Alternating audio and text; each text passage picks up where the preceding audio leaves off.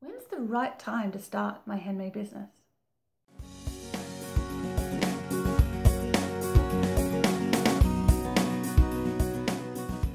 Hi, I'm Jess Van Den. Welcome to another Create and Thrive Q&A.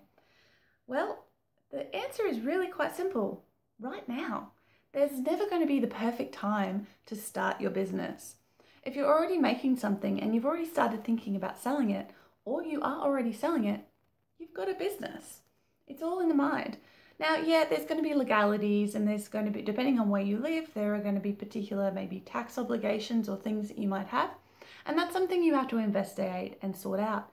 But really, when you make that transition in your mind from I'm a hobbyist to I have a business, that's when you're in business.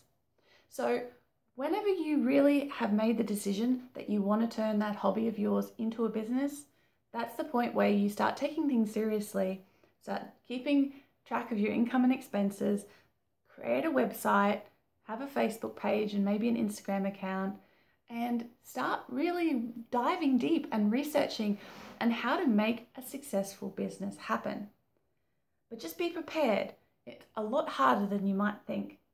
And it's going to take a lot of time, and you're going to have to be very patient to grow a successful handmade business. But that doesn't mean it can't happen because it can and does. I have one, and I know hundreds or thousands of other people who have successful handmade businesses, whether part time or full time. So it really comes down to you being dedicated and being ready to put in the work to learn how to run a business instead of just having a hobby. If you want to learn more about running a thriving, profitable handmade business, head on over to my website, createandthrive.com, where you can listen to my weekly podcast for makers, read a whole bunch of blog posts. Also, I've got e courses, ebooks, and my membership community, the Thriver Circle, full of hundreds of makers just like you who are doing exactly that.